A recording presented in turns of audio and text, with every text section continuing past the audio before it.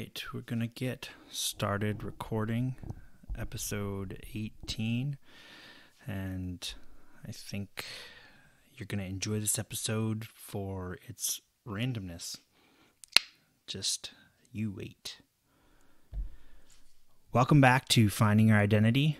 This is episode 18, and I'm your host, Derek McKinney. And I'm going to take you on a fun and wild ride of randomness and unknown identities.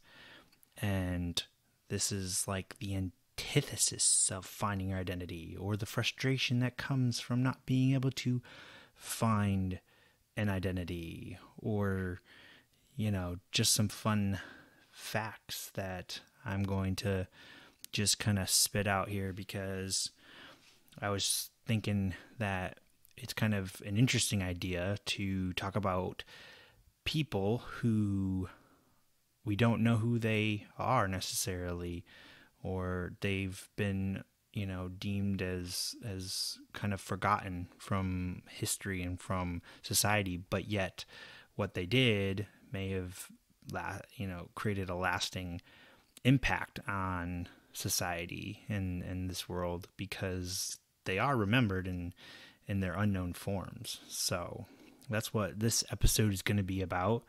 And it's going to be some interesting information, things you maybe have heard about before or, or maybe didn't know a lot about. And I'm going to cover them with a, a little bit of detail, but it should be a fun, somewhat light hearted episode.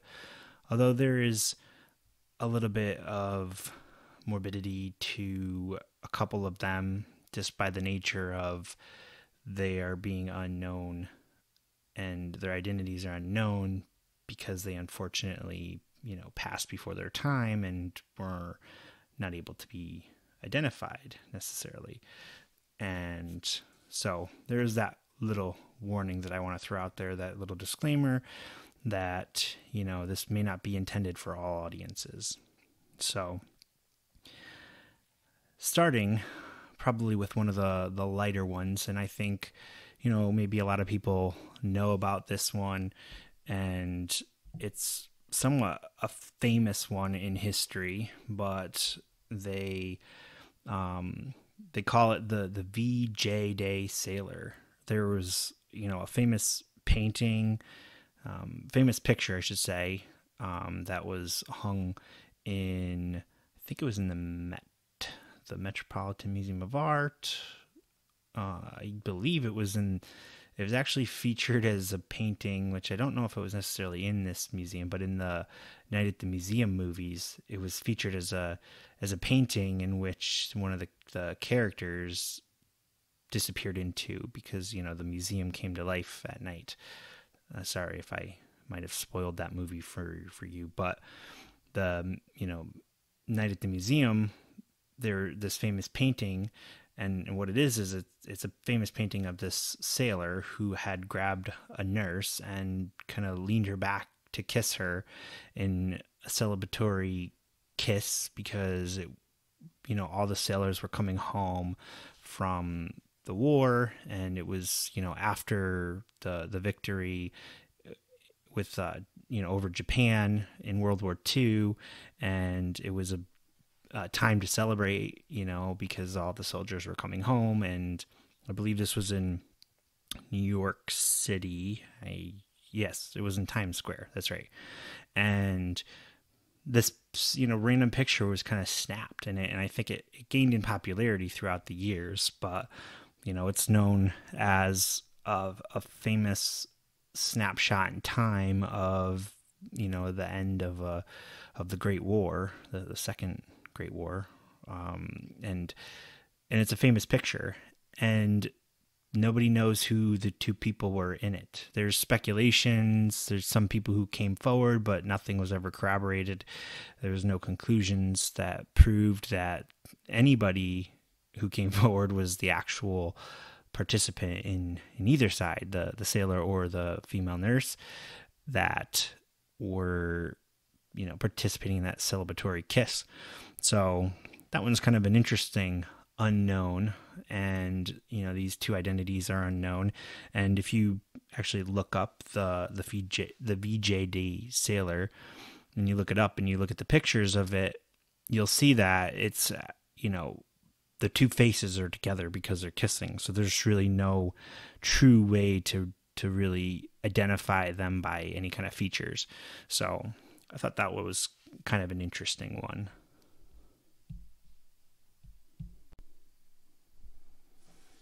The next person who we do not know who they are is Agent uh, Agent 355.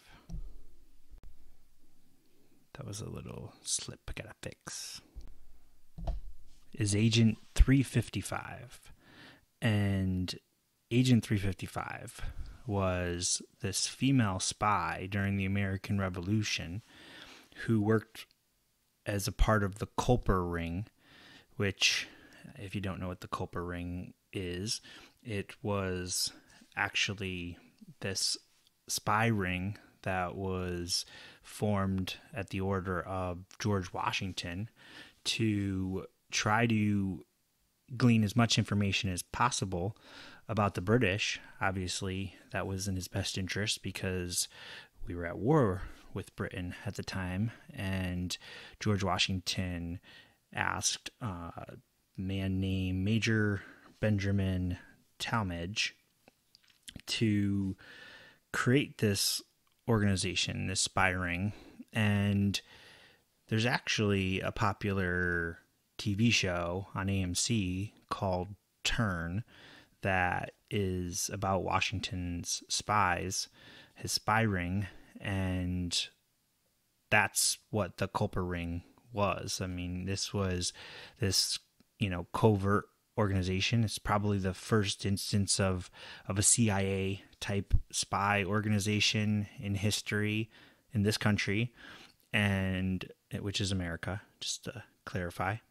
And you know, the United States, they had a a deep need to gain as much leverage as they possibly could against the British because they were just this massive empire and you know people who know the history of the Revolutionary War and obviously how America was born and, and came to win its independence, you know, it it it was a lot of actually, you know, not necessarily war acts that that really kind of sealed the deal there. Like a lot of it had to do with the spies, the spies, the spy network that George Washington had you know ordered be created was integral in kind of sealing the deal uh, per se in terms of being able to to gain a leg up on on the enemy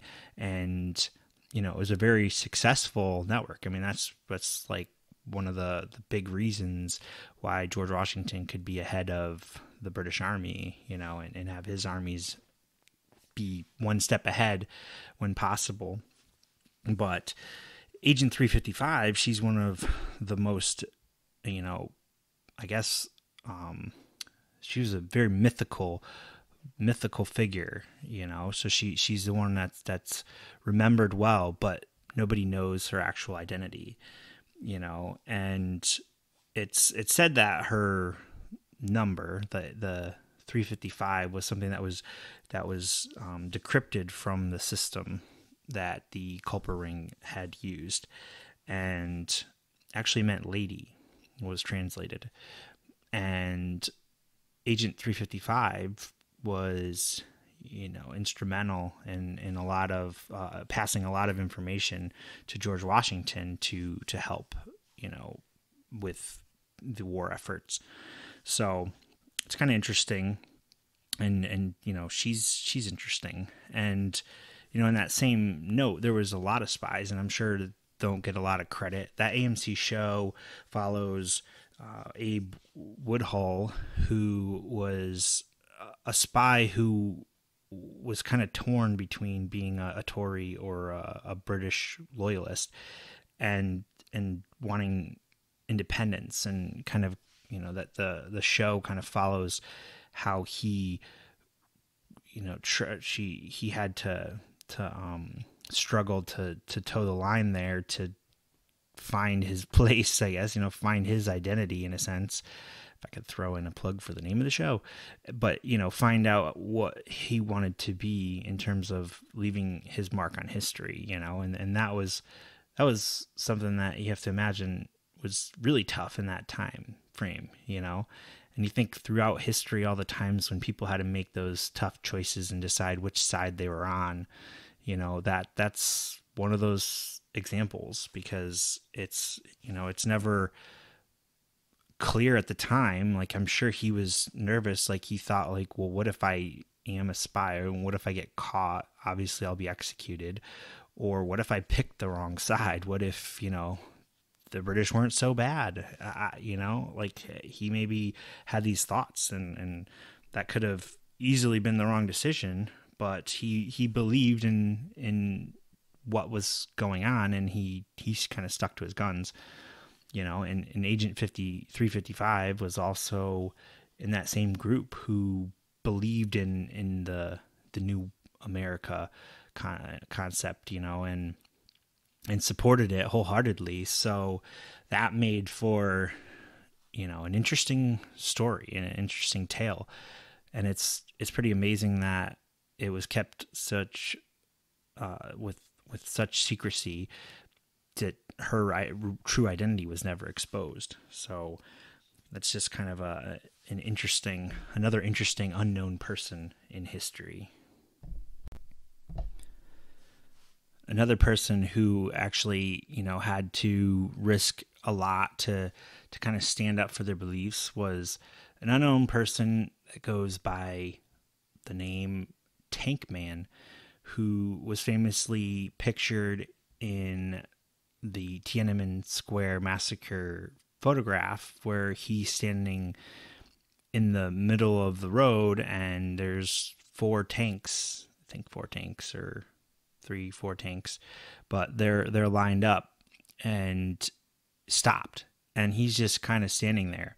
And it's an impactful moment and there's kind of speculation as to who he might have been, but there's nothing that's ever been, you know, set set in the record straight about his true identity. And then there's speculation that he was immediately taken away and killed.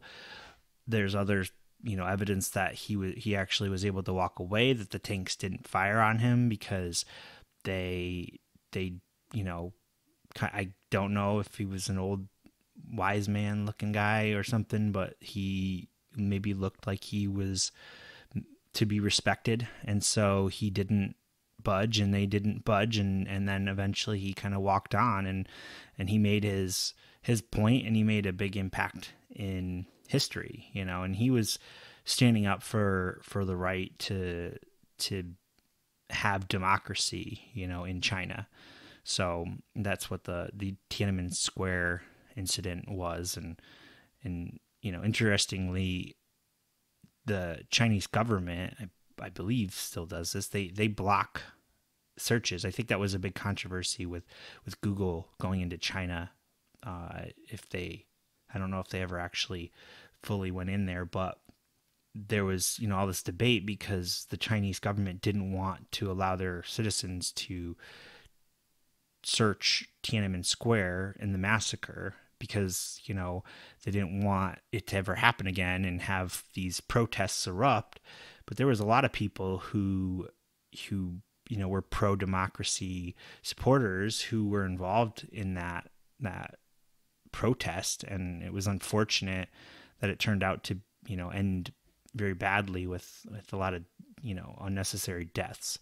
But this man the tank man was famous for standing in front of these tanks and not being known who he was and, and it was more of a snapshot in, in history of a person that was you know standing up for their beliefs. Now i think there's obviously some of the the lighter ones where we can assume that those people you know lived happy healthy lives after their famous incidents. But there are some where you know this is a sad case because this next one is you know the shadows that were left behind after the Hiroshima bomb went off. So, for those who don't know, and at the you know the end of World War II, the United States dropped uh, an atomic bomb on Hiroshima in Japan and also in Nagasaki, and they killed a lot of people. It was a a huge bomb. It was it was a devastating bomb. It, it destroyed a city. It literally, mm, you know, caused human beings to just disintegrate because the the heat and energy was so strong. And what kind of leads to this this shadow person or people was the fact that there were these shadows left behind. So after the dust settled from the bomb, people, you know, went out and they, they looked around and, and it had to have been uh, an immense amount to try to digest after seeing that. But they would go out and, and somebody found and photographed these shadows that were left imprinted on the steps. And it was a shadow that was essentially burnt in to the steps from the shadow of a person like the uh, it's hard to explain like you'd have to actually look it up to see it and and I'll tell you I would warn you you know it could be a little disturbing to some people but you know it was just the fact that the the, the heat was so immense that it it left this this shadow burnt shadow like black splotch or whatever in the shape of a person and also you know what looked like the shape of a cane. So for you know for one of them where it, it just looked like you know the person had just been caused to to disappear in a sense as if they were just walking up the steps with a cane and then this bomb went off and it happened so fast you know they they obviously couldn't get cover or anything like that but all that was left behind was the shadow. And so that's just kind of nuts like to me to think about like that there's some kind of massive energy out there so strong that humans possess that that ability to unleash it on other humans and that it could do that that kind of thing you know? It could you know be so intense that it it doesn't leave the trace of any kind of person. It just leaves you know this shadow of a person. So that is just you know I, I think something that you gotta kind of stop and think and you know not to be preachy about peace but peace seems a lot better than being left as a shadow you know? Quote that and put it on a t-shirt. So that's that's another instance because nobody there's no way to ever know the identity of that person. So that's somebody you know who's gone and, and can only be remembered by this this little bit of evidence that this person ever existed. So that that's kind of heavy. Now there's some mystery behind why people think it's fascinating or have this desire to venture out in sub zero degree weather with just, you know, uh, spending an exorbitant amount of money, carrying crazy expensive gear, and risking their lives, where they have probably a really high probability of dying to climb Mount Everest. So, you know that that alone is a mystery. Why would people think that was a good idea? I I think obviously it's humans' adventurous spirit, and it's something that I don't think I've ever had any kind of desire to do. Now, I I do like hiking, and I do like summiting like reasonably high cliffs or, or mountains, but you know I, I'm I'm kind of realistic, and as I told you in my my camping story uh, in the previous episode, where you know, I ventured out with a 50 pound pack just to hike for a couple hours and it nearly killed me. And I can only imagine how quickly I would die on Everest trying to hike up that. But needless to say, in recent times, actually in 2017, there were four uh, hikers that were that were found. Their bodies were found; they were dead in a tent, and they were unable to identify them. And the crazy thing about this, because I, eh, you know, this popped up when I was just kind of digging into some of the stories, doing a little research on, you know, unidentified bodies and and things that kind of come up in the news. And this popped up when I was doing the search. And you know what's really crazy about this is is there's a lot of bodies on Everest, and you know that kind of blew my mind a couple years ago when I started seeing these stories, and then I started actually doing research, and then I ended up watching YouTube videos and looking at pictures and you know how you sometimes go down a rabbit hole of discovery and you just start uh, unveiling things that you just never could even imagine. And, and it's like you know they say looking at a train wreck you just can't look away.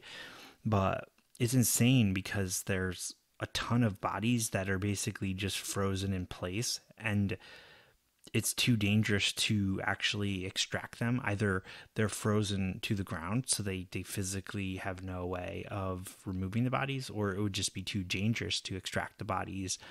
But there's a ton of bodies left up on everest.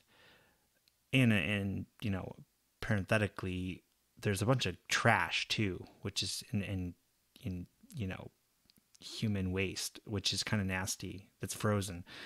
But the bodies is, is a little disturbing because you know they're actually used as trail markers. Like i've seen a couple things that say you know um, one of the most famous bodies is nicknamed green boots. I guess the the person had green boots. Uh, they did uh, eventually identify this person, but he's a trail marker because his feet are are kind of obstructing the trail slightly, and there was an overhang, and it, and it's kind of sad because this guy was essentially just hugging himself to try to stay warm and had covered his face to try to prevent you know further cold on his face. And you know uh, people say he looks like he's he's taking a nap but he probably was just freezing and, and there's all all types of of things that have happened with avalanches or blizzards come in or you know you run out of oxygen and a lot of the deaths have happened because of that and it's just insane to think you know that people continue to go up this mountain to summit Everest. But, you know, how could you, how, what are you thinking when you have to step over a dead body? Like, that's just kind of bizarre and, and twisted to me. But that's just me.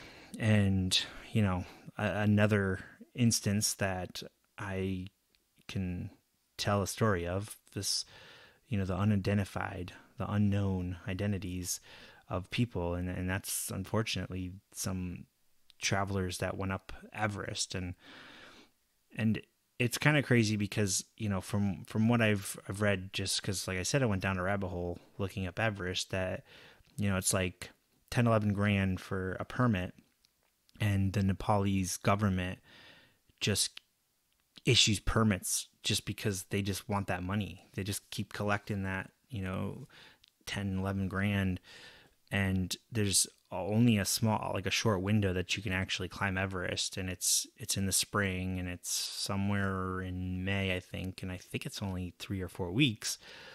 And that's the only window that you can actually do it and it's just there's it's a nightmare. Like this 2019 season I guess there were traffic jams and like apparently you know that that's well, not apparently that is very dangerous, but apparently that was that was causing a lot of concern because you know the the the concern is obviously when you have a a backlog of people trying to summit and you can't go forwards or backwards, you know, people essentially die and and they just could just fall off. Just you know, you got a thin trail and and you get disoriented or something and you just fall off the side of the mountain and you're gone and then that's it and that's that's kind of nuts. There there's a movie i think called everest that was about you know one of the tragic days on the mountain when you know something like I don't know how many people was 10 to 15 people died in this because this storm kind of came in uh, somewhat unexpectedly or, or you know a lot of like the, the movie kind of paints it as has just error in judgment but these people you know went up to to summit and and they just kind of stayed a little bit too long or they just went up too late and they didn't have enough oxygen with them and the timing was off and the storm rolled in and and you know it's based on a true story and like one of the guys you know he ended up like losing his like fingers and toes or something like that. Um, but his wife was you know very vigilant and and diligent. And you know she she she kind of got a um, a heads up that that he was trapped up there. And then she did everything she could and she managed to charter a helicopter from like some crazy pilot who basically was willing to go fly up there to rescue this guy. So that guy ended up getting rescued but you know he ended up suffering the consequences because he ended up losing mm-hmm.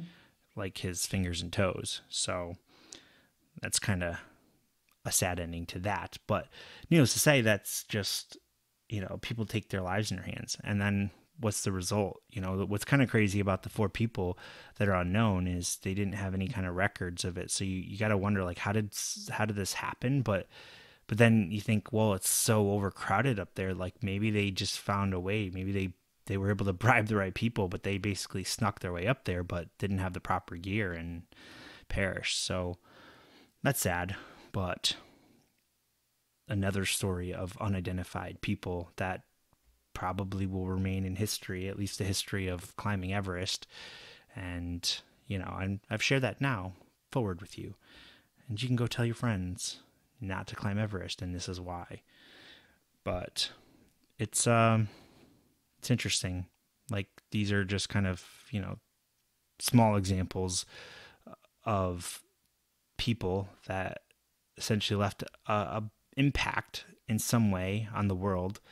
I think it's always, you know, from my perspective, it's always something in human nature to try to leave some kind of impact in life and and leave something behind. You know, I mean, I think people have been doing it for for millions of years or or thousands of years, maybe not millions.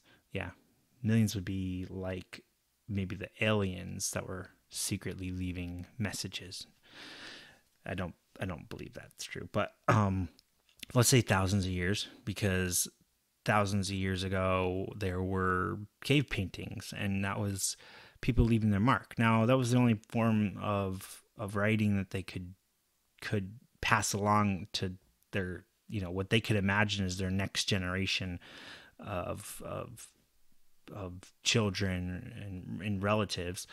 But you know that's how they kind of tried to live on. But you don't know the identities of the people who created those cave paintings necessarily. You don't know that it was you know i don't even know what would a cave person's name be i'll say grug because i love the croods i thought that was a great movie you know but nobody knows grug anderson was the one who actually painted the you know the the the giant saber-toothed cat attacking his family, you know, and you can't trace it back. He didn't exactly, you know, sign it like GA at the bottom.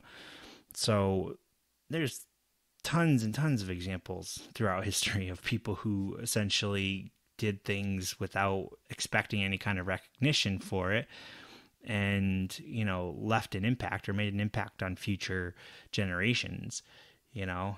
I i love the idea of of authors, you know, writing books that essentially are are imprinting in history in a sense because they're they're forever going to be in history, you know, if at, at least if you've got a couple copies out there, you know, but you publish a book and, and it gets distributed in any form, even if you self published it and you just handed it out to your family members, like it, it could live on for however long you know that it, stays alive and it it you know and I say stay alive you know, hopefully doesn't burn up in some kind of fire or something like that, but but gets passed along. You know, I mean, I've got little books that my grandmother had had given me, and, eh, along with other books. But you know, I've actually got a ton of old books that my my grandfather had that I just took when he passed away. You know, because I thought it, it always would let me re- remember him. But it's in a sense that author wrote that book, and it's it's a legacy that's kind of being carried forward because people are going to remember that author. You know, someone in the future might come along and pick up that book and then start reading it and and learn something from that author that they never expected. You know, I have to wonder, you know, with podcasts, like what what's the the archive for that going to be? Obviously, it needs to be digital, but you can't exactly just go and easily play this back. I mean, now you can, obviously, with the internet and all this technology, but if that stuff were to up and vanish, it's kind of vanished with it. You know, it, it's like this this whole recording is just going to kind of up and disappear. That's kind of a heavy thought to think about, you know, and and I don't want to think about it. It's too heavy. Makes me feel like I'm wasting my time, but I don't feel like I am because who knows, you know? like maybe aliens like don't even need the power or you know or or, or future generations i keep saying aliens like they i have mixed feelings about aliens. They're unidentified. And this episode was about unidentified peoples but mostly this podcast is about finding our identity. So i don't want to talk about unidentified things like aliens but i digress. And I think this was kind of a, a, a lighter episode that I wanted to put out there. You know, I think the the one in recent memory there's one last identified person that there's a picture that's burned into my memory that a lot of people around my my age or you know people who lived through 9/11 would remember you know, on the front page of, of newspapers as a, as a still photo on video broadcasts, but you know the the unknown man that, that was jumping uh, or falling, but he's in midair, and and the backdrop is is one of the twin towers, and he's falling, and you have no idea who this person is, but somebody happened to capture that picture at just the right moment. Although those towers were so tall you know you could have seen that man falling and then had the time to take out your camera and take the picture and still capture him falling because that's the kind of height and the, and the amount of time it would take to fall from those buildings but you know his peaceful pose as he's dropping is just is is kind of impactful because he's not flailing his arms. He's just just falling with looks like his his arms are at his side and his legs are just kind of out straight or or almost limp in a sense, you know, but rigid enough for it doesn't look like he's kicking, and it's kind of uh, a powerful a powerful memory of of that day, you know, where he kind of just feels like he resigned himself to to falling because he felt that was it. That was all he could do at that point, you know. I would hope to think that, you know, possibly like he was dead before he fell. And that's just how he started falling.